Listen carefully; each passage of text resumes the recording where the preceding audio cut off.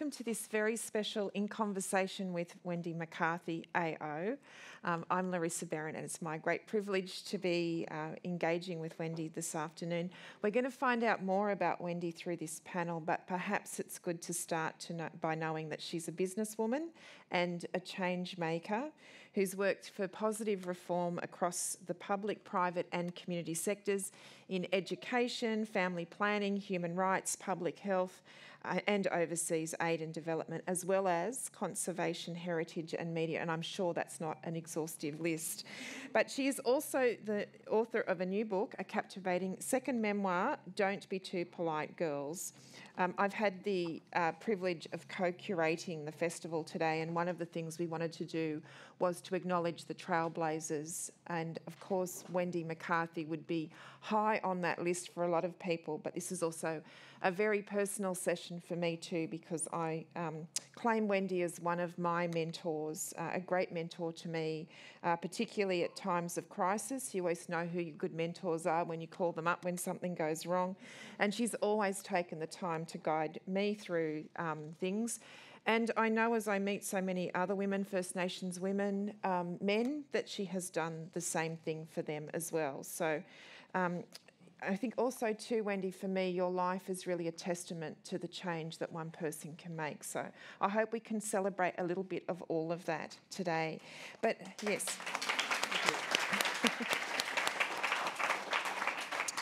So, in this session, I want to see if we explore as much as we can, um, and particularly the life you recount in Don't Be Too Polite Girls. Um, but and also what it means to support other women, which I think has been a hallmark of the way you've operated. But I thought I would start by asking you the same question that I would have asked a First Nations woman if she was here, and that is if you can tell us um, where you're from and what's shaped your life, so you can give us a bit of your perspective. And who's my mob? Yeah, and who's your mob? Okay, so where am I from? I suppose I had an itinerant childhood, but I was born in Orange in central western New South Wales. And I lived there for seven years. Then I lived in Goulburn for a year. And then I lived in a little place called Garema, which is not the civic centre of Canberra in my mind, but a tiny little village um, in a little wheat village, really, where it was the, the, there were big wheat silos, and it was this place where the wheat was collected to go to Sydney. And then I went to school in Forbes and, and to the local state high school where I lived in the Anglican hostel next door.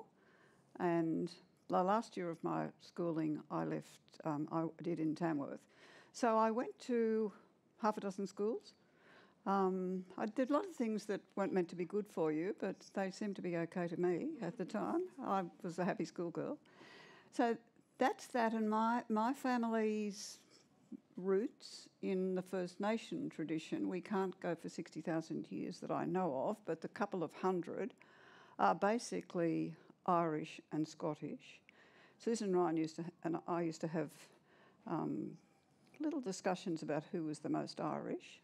I said I married a man who was born on St Patrick's Day, so that put me ahead. But it, we finally had an ancestry test, DNA, I won. Only by a tiny bit, but I won't. But I think so. In that question, it's about how you place someone, isn't it? You just we just need to know a little bit about you so we can have a conversation. So that's my little piece. It's great. We always, that's exactly right. It's the kinship system of knowing how everyone's related to Yeah. you. All those people who were born in Tamworth will feel an extra connection to you now. Um, I guess the other thing that I wanted to ask you about is, of course, the memoir d- deals with um, many aspects of your life, but you're also very reflective. There's a lot of wisdom in between that. And one thing that struck me was how upfront you are about all your failures. And um, and when I sort of think of you as being so accomplished, it was almost shocking to me that you might have, for example, failed subjects at university. but I thought it might be a good question to ask you as a general thing about, you know, how you look back on failures and what your advice is around, you know, the concept of failing. I think failure and mistakes come into the same sort of lexicon. The best thing about failure is that you learn something. You learn how you did something wrong or how somebody else did in your terms, but you have to cop it. And it's an incredibly stiff learning process. And nobody expects to fail in any of their endeavours in life. We just uh, troll along and think, you know, it's going to be okay, whatever we do. And then we're hit with a failure. In my case, failing in first year university, I had a scholarship which required me to pass four subjects. It was a five year scholarship, um, four year scholarship at university. And I passed two. And I didn't pass English, which was meant to be my best subject. Now, I wasn't, I was 16 and I didn't get Chaucer. I just couldn't get it. And I probably was 60 before I did, really. But I think I learned that the thing about failure is, firstly, I found a resilience in myself to be able to get back after failure. In this case, I went to the Department of Education and said, I know. I, I had to argue to get an appointment because they were written to me saying my scholarship was going to be cancelled. I had to pass three or four. And I said, I know that's happened, but my father died during the year, my life has been unstable, and I really would like another chance. And if I promise that I will do four subjects in second year, which would mean two at second year level and you know the others at first year level, um, can I have my scholarship back? And they said, okay. Now that also taught me that you can follow up on failure and make a commitment to try again and do something differently. And I did. And in the process, the most outstanding thing was instead of just being in love with boys and rock and roll and other things, as I was in my first year, I fell in love with learning. And I've never fallen out of love with learning. So the best thing out of that misfortune. And other failures I've met, you know, getting pregnant accidentally wasn't a good idea. And, uh, well, it wasn't accidental really. I mean, I had sex, I got pregnant. Um, but I do think that most failures are fixable, if, and you have to hold on to that. But you'd be an unusual person who hadn't failed, and you're probably kidding yourself if that's the case. Just cherish it and remember it and polish it up and get just keep going. You write with um, real affection about some of the teachers you had, and it's wonderful to be reminded that actually that's where you started out. And I wonder if you can share with us um, where you get that great affection for teachers, teaching, and the fact that you are really still continuing to be a teacher. Yes, I often say, you know, that I, I always think of myself as a teacher. It's just that I work in different classrooms. And some boardrooms, they would qualify for high learning needs. um, and some schools do, and some pupils do. But humans are the same in most settings, um, and they just need sometimes to be unravelled. But great, when you think of great teachers, if we're lucky, we might get three or four in our lives. We might get good enough, for, hopefully for the majority. But what we really want is teachers who inspire us in, in us a love of learning. And what I learnt after my first year of teaching in high school is that control and command is not the way to learn. It's the way to repeat information and reprocess it, and it'll get you quite a long way, certainly in my school system. But it's not true learning. It, true learning is when you take the responsibility on, upon yourself to be able to take that information and process it and use it for your life. And when I was sent, setting up um, a mentoring practice many, many years later, one of the things I realised, it was just like being in my classroom in the first couple of years of teaching, getting people to hear their own voices. That little girl in the back of the room there, I can see what you're doing. It's okay, but could we all hear it? And it's a big surprise because she just thinks she's talking to the girl next to her like that. And I think that we, I want to hear a voice. I am not punishing you, I just want to hear it. If it's that good, do you want to say it now? Let's all hear. But there's just a, there's something magic about exchanging information with a mentee and seeing a voice can just sort of be your words get reflected and hers come out or his come out and suddenly he's in charge and you're superfluous. It's okay. You can be friends after that, but you just have a moment when you get that magic of mentoring. And I would like all organisations I work in to be mentoring. And in teaching too, I went from a classroom to community education. And I'd never done, most of the things I've done, I'd never done before I did it. You know, like bang, I got an offer of a job. They said you can be the community educator at family planning, and I thought, well, what does that mean? Anyway, it meant that I taught in probably 100 high schools over a couple of years, taught in universities, TAFE colleges, hospitals, no, every single conceivable person. So I had to learn to be a teacher for all seasons.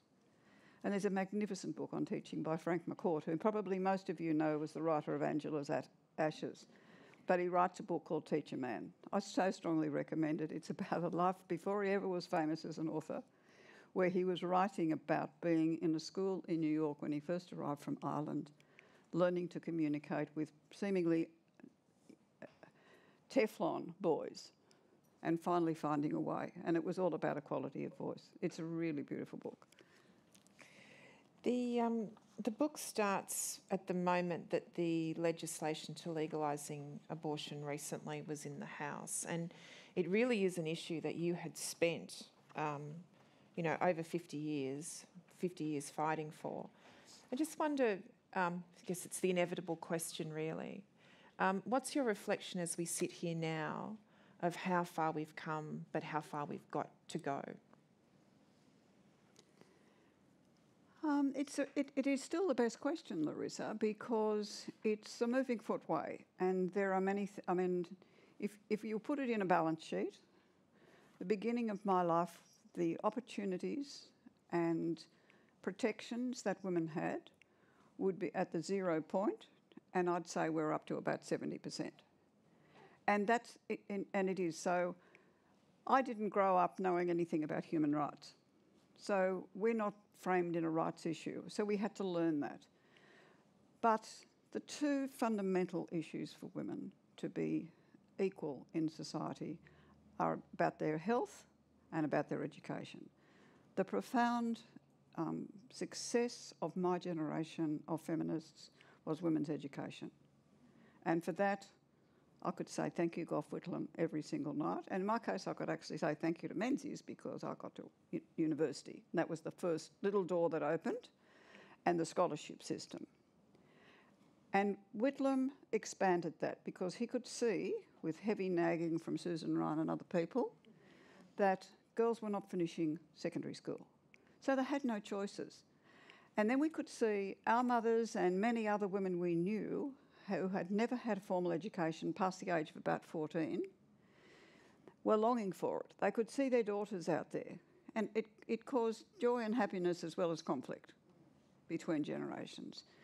And so we introduced this idea, which we lobbied for for ages, called second chance education. So a woman who was had prior experience, wanted to go to university, didn't have to matriculate. Often they'd come to TAFE, and I'd be teaching them often in TAFE. And it was so inspiring to see a woman of 55 who'd, you know, she'd been in the, um, the army or the air force or something during the war, comes back expected to go straight back to the land army, um, expect to go straight back to the kitchen. The men got scholarships to go to law, engineering, and so on, and as part of the repatriation, and, and women didn't. So those women have become the women who got the second chance education It supported the young feminists who were pushing the barriers. No one does anything on their own. I might look cute or old or whatever I do up here now, but you know what? You're not in a society. If you're going to be an engaged citizen, you need colleagues. You need people who travel with you, who share your ideas. You might call that a form of leadership, you might call it a form of community organisation, but no one does anything. So we learned to organise. That's a real thing that came out of this. We changed education. Women flock to education. We are number one in the world on the education of women. And we are number 50 in gender parity. How the hell did that happen? Where were you all? Where were we all? How did we lose that spot? And in terms of equal pay, we're somewhere in the middle of the world. And many countries that we would be offering overseas aid to are behind us. So we don't need to be too smug. However, we are in different cl- clusters. We are professional we're lawyers and we are doctors and in health places. So we are looking after the women coming behind us. We have to stay in the care economy. We have to make sure that it is better work in the care economy because that's what feminism can do. The men are not going to do it for us. And it's just systemic. And you don't have time for a lot of work in systemic as well as individual change. You've got to make some choices. So I think we should be looking at, and, and Sam Mostyn and I have this discussion all the time. We now need to lift the women in the care economy further up the system so that wealth distribution is more efficient and effective because they and they have taken a disproportionate load during the pandemic. It, there's nothing malignant about that happening or men causing it. It's just that women are, as one woman said to me, at the moment in my home during the, I have, I'm running a school for three children. I'm running the kitchen for the family. I'm trying to hold on my jo- onto my job at one o'clock in the morning while I'm going online. I just can't do it all. I need some help. So those women, that, we want to care about people. That's what we do really well. We do other things too, but we care about people well.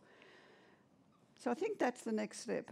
And I think the other thing is that the last thing I would say is that the surge towards women into politics has slowed down. We need more women in leadership positions in politics. And people say, oh, it won't be that much fun. Well, it could be if you were there, because you'd have fun. You don't, you know, politi- political change is exciting.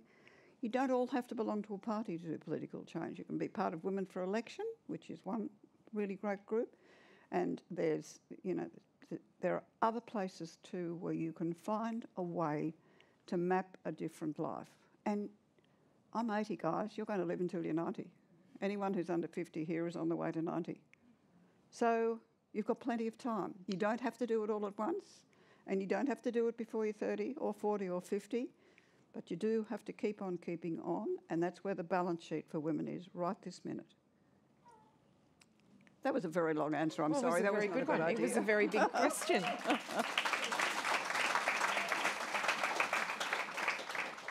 Um, one of the things, of course, that your memoir reminds a reader of is how many um, barriers were placed on women that I think a younger generation might not appreciate. Not being able to get a bank loan, having to leave a job when you got married, not being able to access contraception or abortion No super.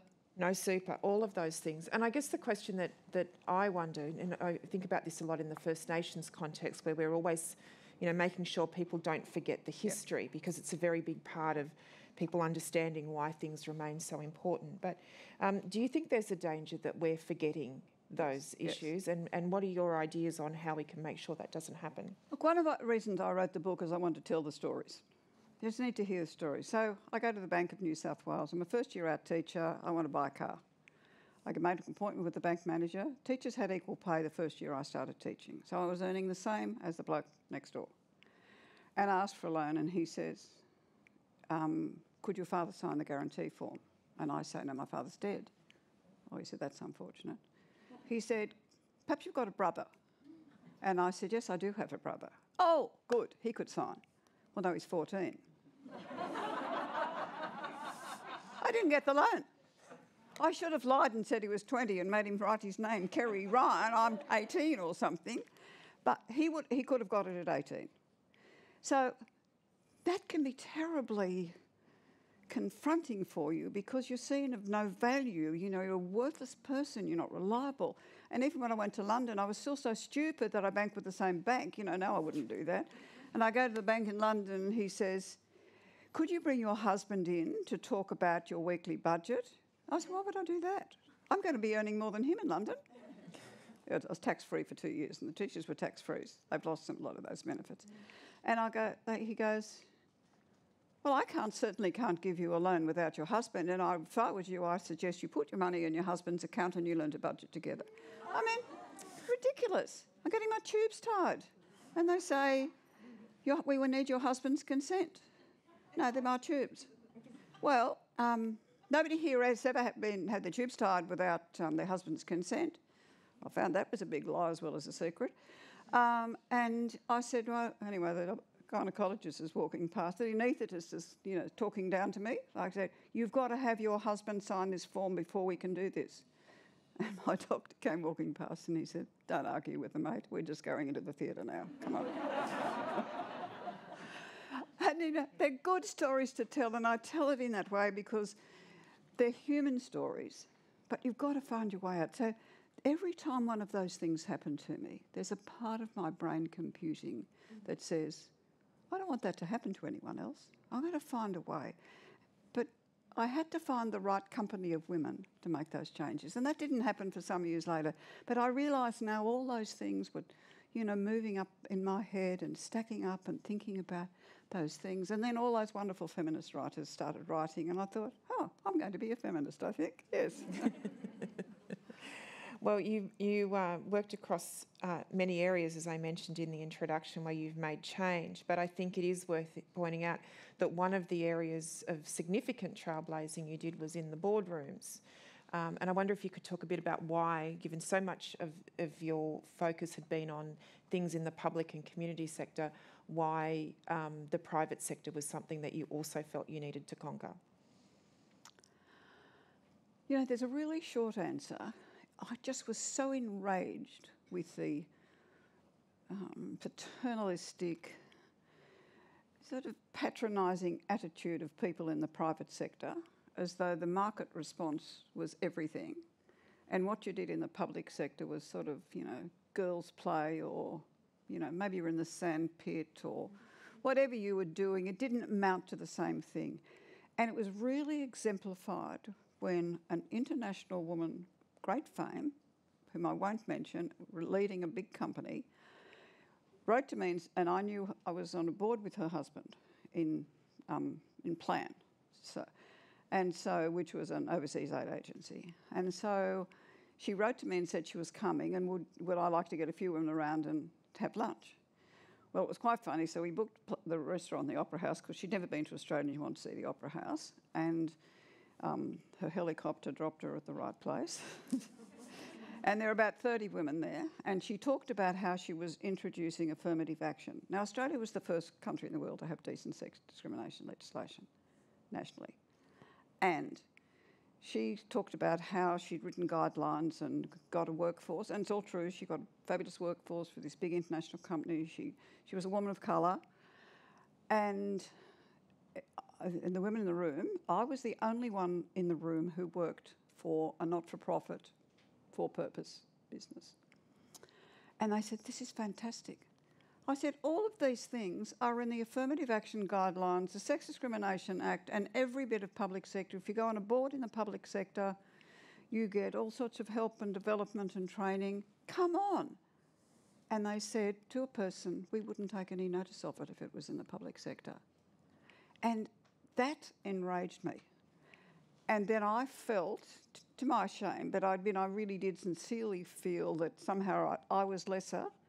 I mean, I was a deputy chair of the ABC, and I mean, it's not an easy organisation to be the deputy chair of. I mean, I love it to death, but you, uh, the idea that there's something inferior about statutory bodies is just uh, that just sends me in a complete rage. So I thought, okay, I'll have to prove that I can be commercial. So very shortly afterwards, I took an offer that had been on the table for some time when I was running the National Trust to go and run a um, legal practice. My husband said, Do you have any idea what you're going to? You'll hate it. I said, No, I've got to be commercial. I can see that. I'm going to get anywhere in this life. I'm 55. It's got to be commercial.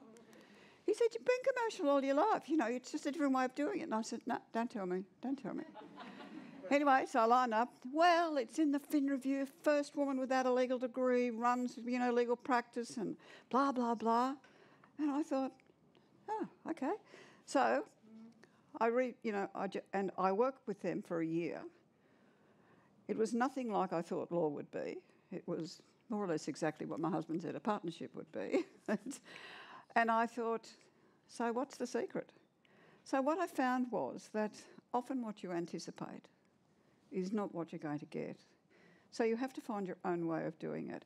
And then, I mean, but, but that was an executive role. And, I, and then I started to go on to boards. That reaffirmed to people that I could do more than run something in the public sector, which is a horrible way of saying it, but that's what it did. And I took that up and I went on to, I've been on 34 boards. It's probably a Guinness Book of Records, really. Um, but, you know, I did then go on to commercial boards. And then I became really interested in how you put for profit with for purpose. So you are investing the profit in there. And Good Start was the classic case. The work, working as a director of Good Start, where you know you're an early childhood learning, and it's a billion dollar company, and no one on the board or anywhere else in the company gets the profits. It goes straight back into the business. So it's best business practice with better intentions. And I, it did, did satisfy me, but to go there. But I found myself very soon drifting back to something or drifting towards a good start model because just a commercial one wasn't, there, there wasn't enough soul in it for me. I mean, I liked the skill of it and, and I never left without putting two women to replace me, not because that was the case, but working out when someone else is leaving, I'd leave and then two women, okay. And I, and I, I have to say, I feel almost shameful about it in a way, but it did feel, feel as though it was validation. Um, so I thought, oh well, I'll take that. Um, you write in the book that you like to be asked to dance, and Sam Mostyn at the launch said that this uh, sounded like cognitive dissonance to her at first, which I have to say I had the same reaction when I was reading it. Um, in fact, I went back and read it to make sure I wasn't reading it incorrectly. But actually, you make a really good point about being um, approached to be involved in something, and I wonder if you could talk a little bit about why that's been your modus operandi. Well, I think you know there are some things that your parents drum into you that you it, it's very hard to get out of. My mother spent a lot of time reinforcing the idea that I should not be bold. Boldness was a terrible sin for a girl, and it was an admired attribute for a boy. Um, and not that I thought of it in those terms then, I just knew that as a girl I should not be bold. That means speaking back to your elders, seen, uh, you know, to, being seen and not heard, um, and or being heard and not and seen, which there was not acceptable, and always t- told to to sit on the side of the room and wait until you were selected by some boy to dance.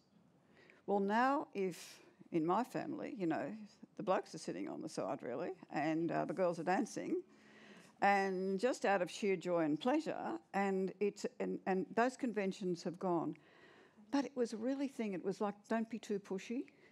My mother said, don't draw attention to yourself. The best example of this is she's watching the Hollingworth interview. Remember when the Holling, some of you will remember the Hollingworth matter, where interviewing, Kerry O'Brien was interviewing Hollingworth and he suggested that the girl at the centre of a case um, calling, saying a bishop had sexually abused her had actually asked for it. He didn't say quite like that, but everyone knew that was the code for it. And my mother rang me up and she said, uh, this girl and I shared um, a bunk in St John's Hostel in Forbes. And I hadn't seen it, but you know, I'd seen it twice in 30 years. But uh, anyway, she and she's and uh, she said, you know, that's not true. So you're to ring the ABC right now and tell them it's not true and it's a terrible thing to say. And I'm quite surprised. I think she's been reading feminist literature secretly. You know, what's she doing? She just don't know her usual call. She said, but what I want you to do when you ring, don't say who you are, don't draw attention to yourself, and, and just leave the message. And I said, Well, I don't think that would work if I didn't say who I was. And I've just left the board of the ABC, so I think my voice is fairly recognisable. and anyway, after about, you know, 24 hours, I decided I could do it. And, you know, I went on and did it.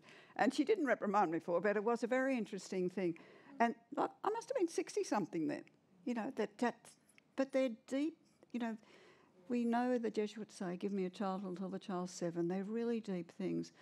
So, in cases of, I am really good at running a campaign. I can take anyone and put them out there and get on with it, but I do not like asking, I do not ask favours for myself. I find it extraordinarily hard to put myself first. I can, it's just, and it is still that thing, you know, and I think most girls of my age were raised like that and they've and that has been somewhat despised as showing a lack of capacity to initiate discussion, not able to put your hand up, um, no good in the scrum. Um, that was true until about 10 years ago. the girls are in the scrum now, which is great. But I, I and it, it's a deep impact.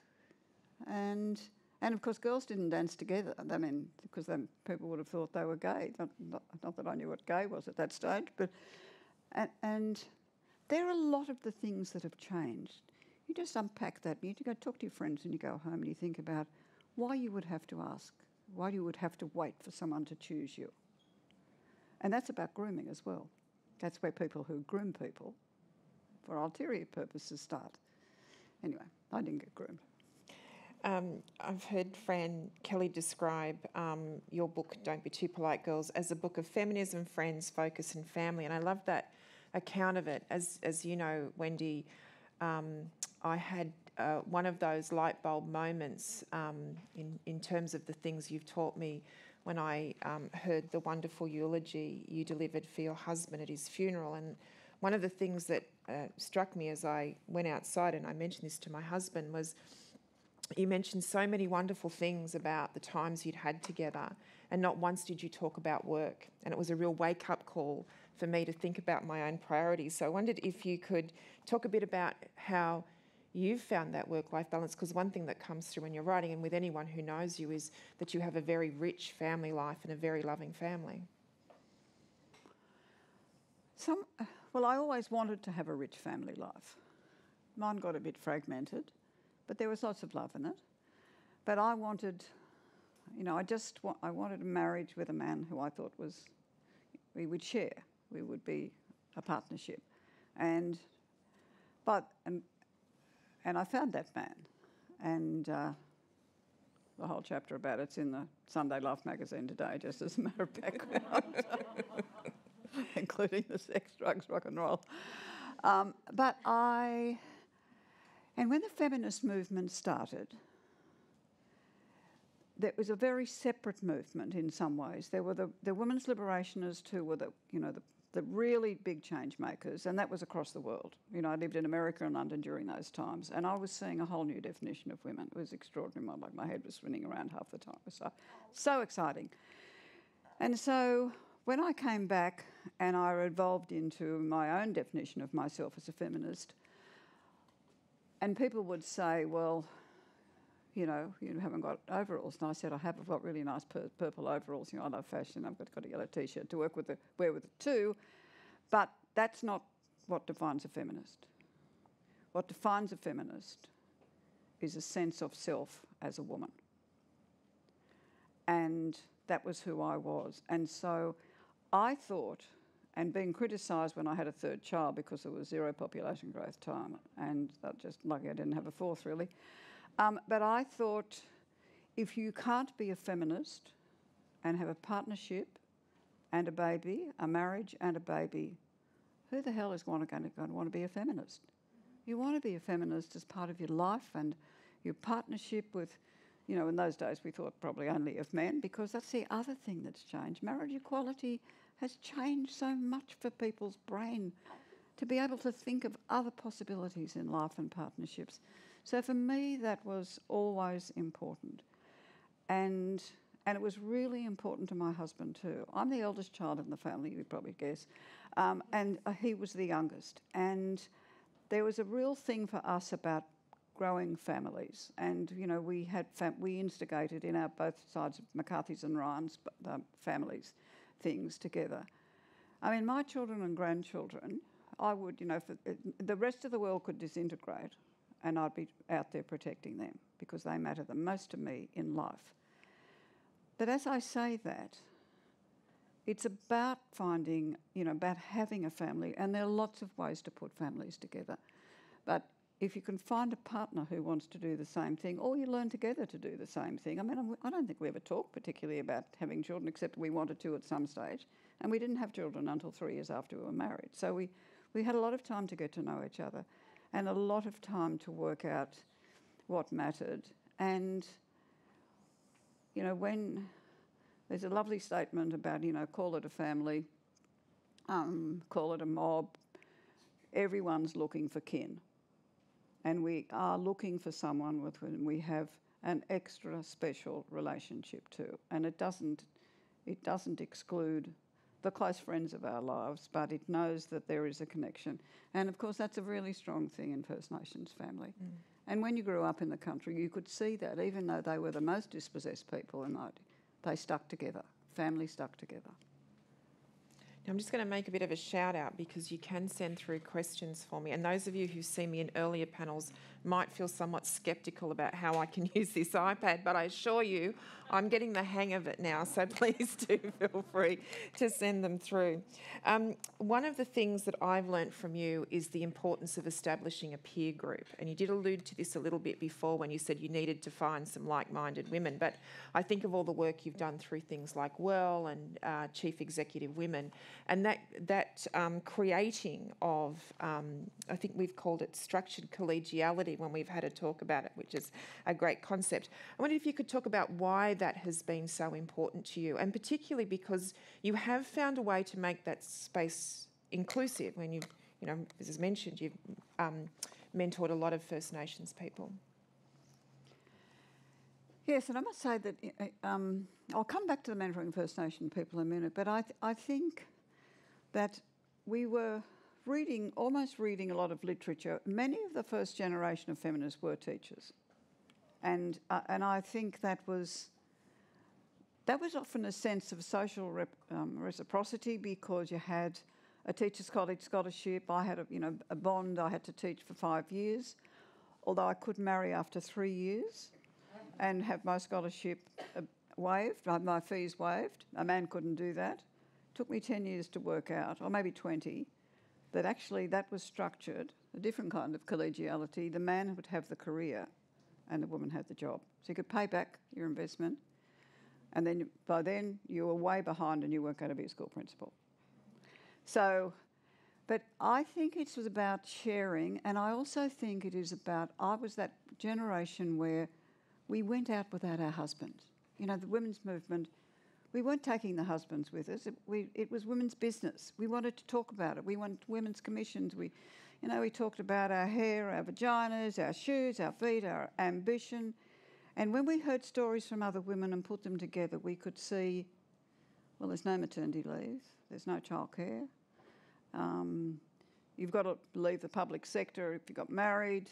You know, there are all these barriers. You can't borrow money. So, what are we going to do about it? And like good girls, we had a shopping list. Tick, tick, tick, tick, tick. And you know, it's the same shopping list now. The ticks are just in a different position. So, we still need more early learning and childcare. We still need um, more investment in reproductive rights for all sorts of and and I mean the uh, I remember it was one exhibi- uh, one uh, demo that I went to where one of the young women who worked for me wore she tied two tampons together and put them on her ears as earrings so they moved on each side as she went down and there were men who called out names to her walking down George Street I was fascinated these tampons are going and those were sort of outrageous acts of this is normal. You know, it's not normal to wear a tampon on your ear. but it's normal women's business. Now just let us get on with it. and I, I just think that it's, we sort of de- demystified it by having those conversations of our own, but out of that became a, a collegiality which demonstrated in the reproductive rights campaign. Most of the women at the front of that were women of my age, give or take a decade, and they were women we worked together planning these things in the 70s, and we saw it as unfinished business. Most young women didn't know that this was the case. They couldn't understand quite why we were doing it, wanted to just leave it alone. We leave, didn't leave it alone because it was still a dangerous health matter. And it required a collegiality which looked across the world at what was happening because we're much more connected now with people around the world and we could see what hap- was happening with Trump.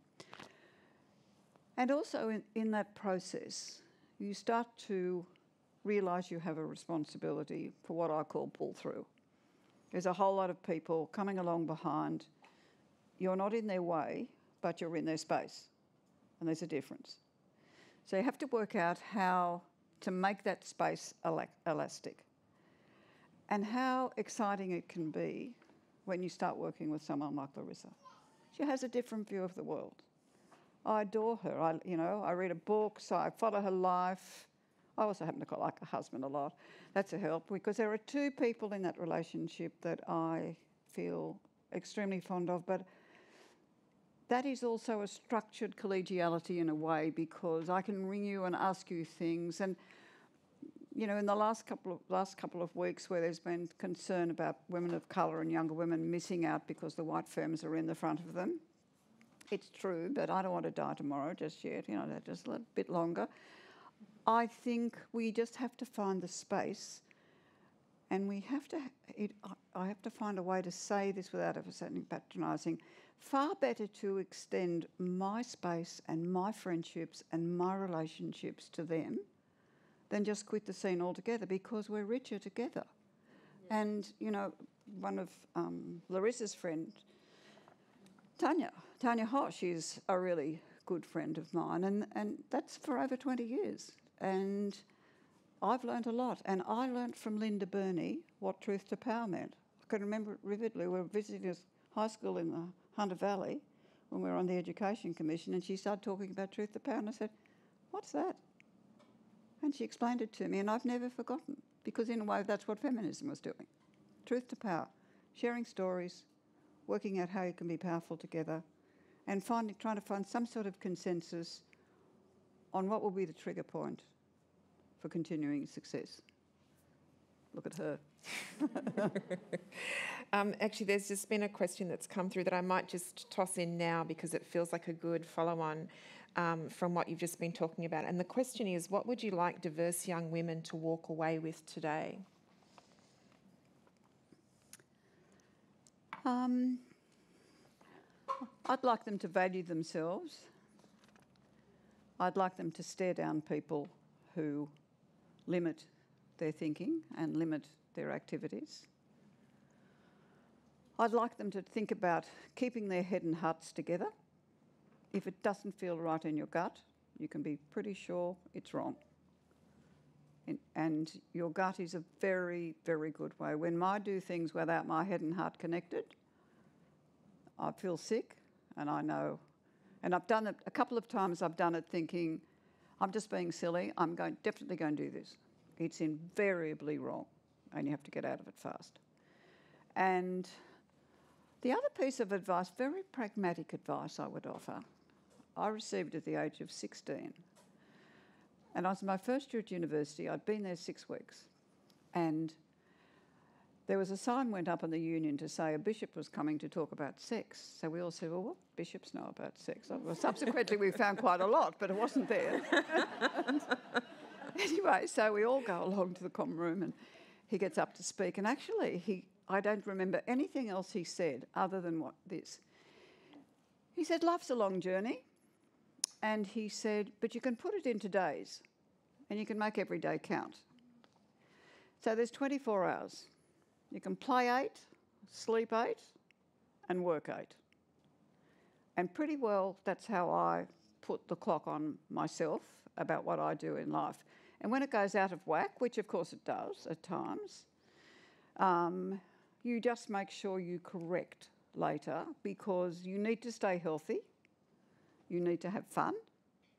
Life's not meant to be misery road, it's meant to be a happy learning place. And if you can just do that, it gives you a little, just a little bit of a guide um, about how to use your time and make every day count.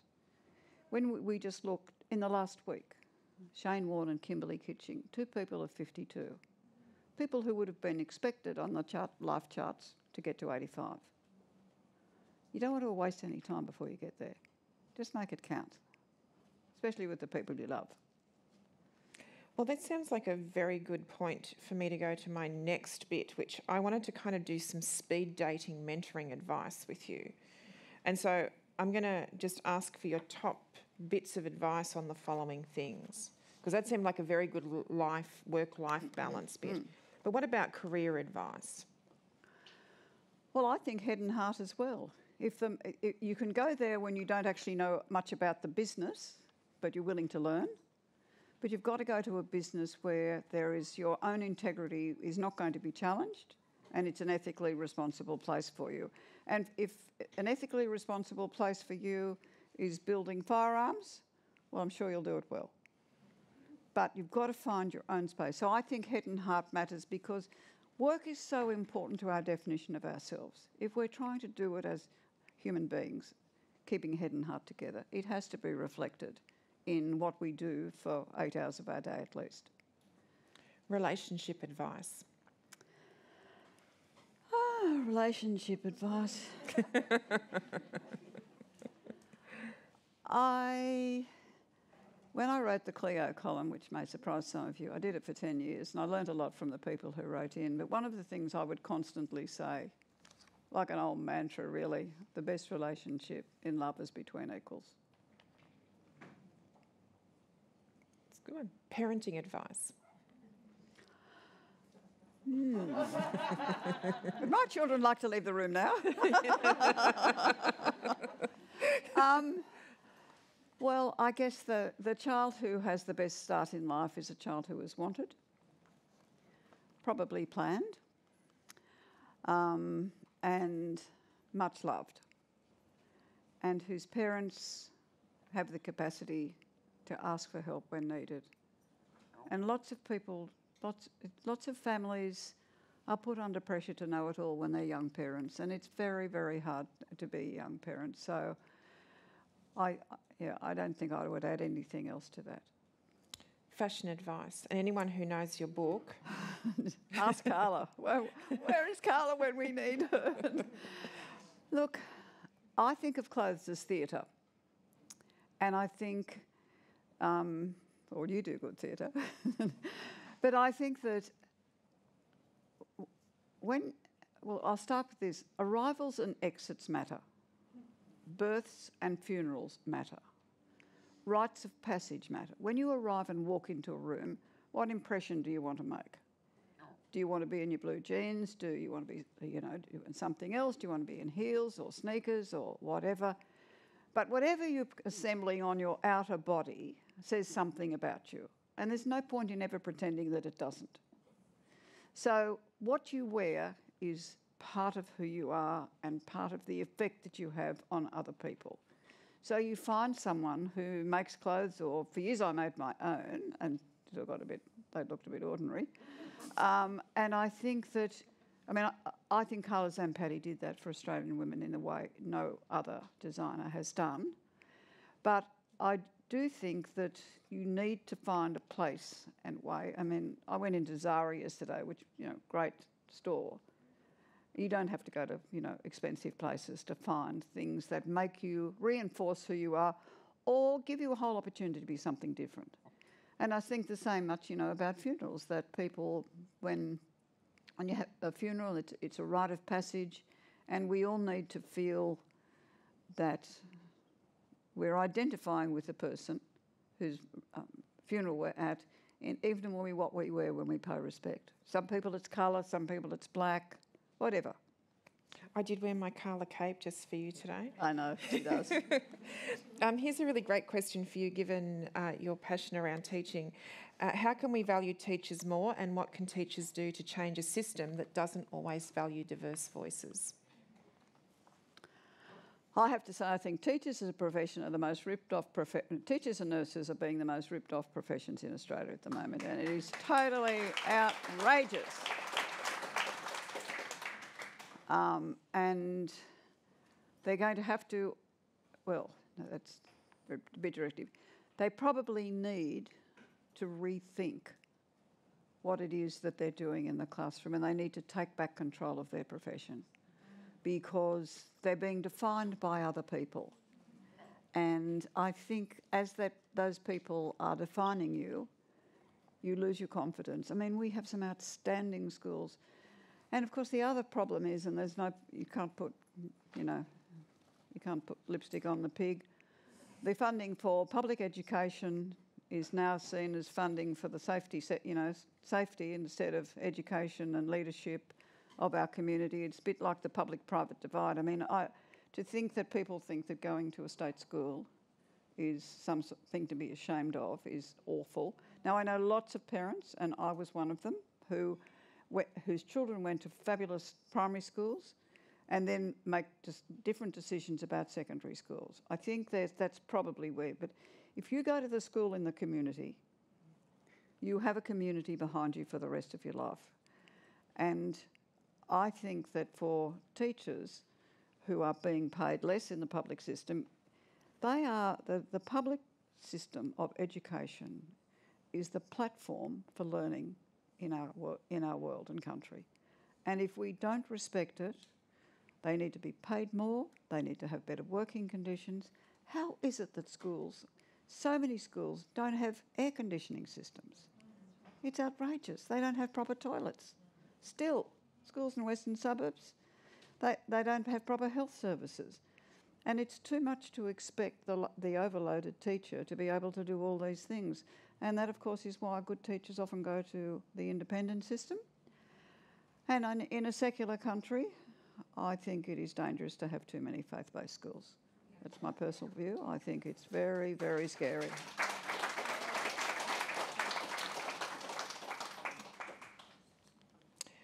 You um, say that you want to don't want to chronicle how we felt, but what we did, and I love that as an idea because it's a real call to arms. And I guess we're living in a time we've just been through the pandemic. We're not through it yet, um, you know, it, but it's been very disruptive. Uh, we're seeing cataclysmic climate issues that are changing the way we're relating to our country, and of course we've got these massive geopolitical shifts that are terrifying if one looks at them at all. Um, can't look away from them, so they are incredibly challenging. In the face of all of that, Wendy, as somebody who has, as I've said at the beginning, really been somebody who's shown what a difference an individual can make, what is your advice to us in terms of how we can continue to feel we've got some agency in this kind of environment? Um, well, we have one thing at our disposal we have a vote we need to start exercising our vote.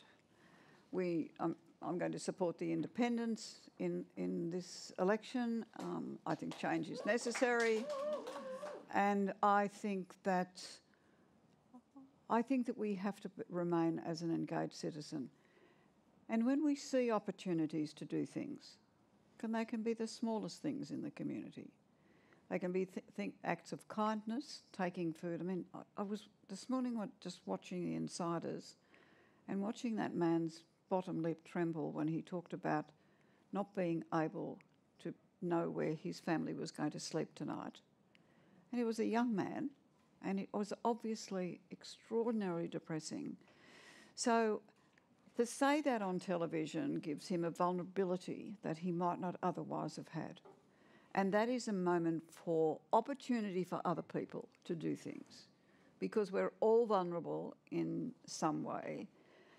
I always found finding a group of like minded citizens, which was always Margaret Mead's advice that change is only ever made by a group of like minded citizens coming together and working out something. She said, and usually a group of 12 does it. It's the effect of the disciples, of course, but still. But I think that's true, and I think you just have to engage with people. It's hard to be. I was never. A, I mean, I might have been a lone voice at times, but I was never a lone person. There was a community of women and some men always that I was relating to. Just getting close to time, but it sort of feels like it's a good thing to have as a final thing to ask your reflections on. Of course, in the book um, itself, you are um, towards the at the end. You talk about the Uluru Statement. Why is that such an important thing for you? I think the Uluru Station uh, statement is up there with Magna Carta. I think it's one of, one of the most exquisitely written statements. A statement's even a hard word to use on it. The words are beautiful. There's a generosity of spirit. There's a reaching out for really structured collegiality. There's a reaching out for love of First Nations people and, you know, and, and reciprocity. And underneath it, the sense of injustice is not bitter and ugly. It's just wistful. And I want everyone to have, and I thought, my next thing is everything I do, I'm going to add the Uluru Station where, statement wherever I can so that people can't say, oh, I can't see it. Not that I'm expecting to sell 30 million books, but I do think that it's got to be everywhere for people to understand.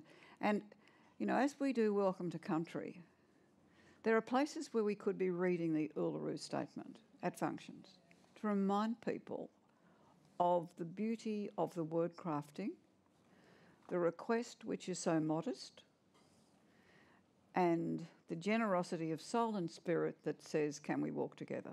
And of course we can. You know, just expand your circle. And we're going to try and do it. I want that to happen in my lifetime.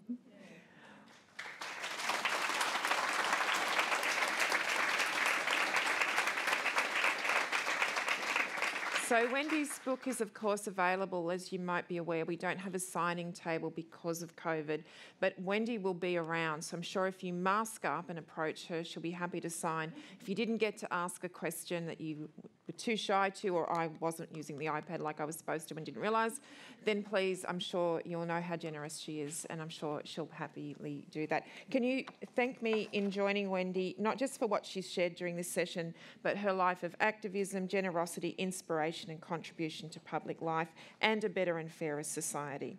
Thank you.